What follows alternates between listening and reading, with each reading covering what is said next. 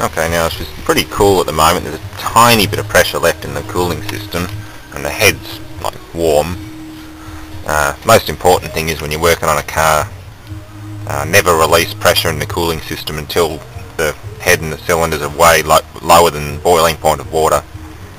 Just after this thing reaches critical temperature on the gauge, there's probably hot spots in the head which are well above 150 degrees Celsius and if the pressure were to suddenly be released by taking the cap off, that water's going to suddenly turn into steam.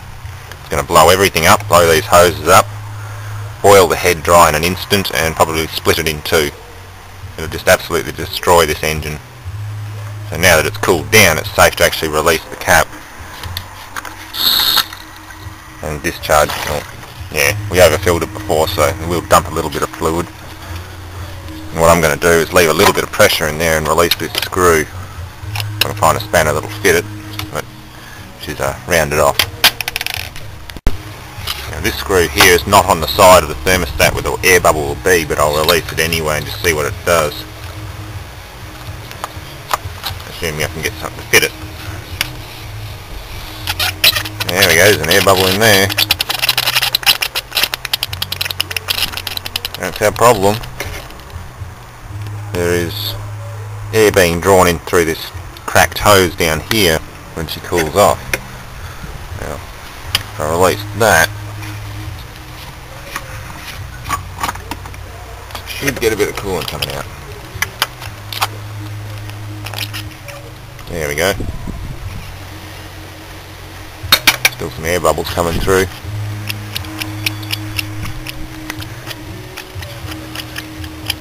There's a lot of air.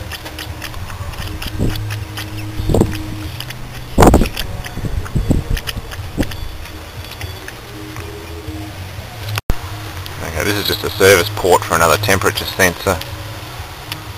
This is the high pressure side of the thermostat. A bit of air in there.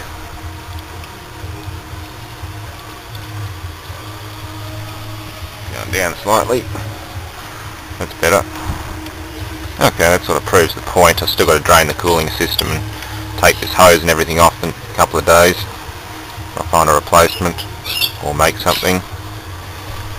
But yeah, that's how she goes. Something as simple as that. Can cause a lot of headaches.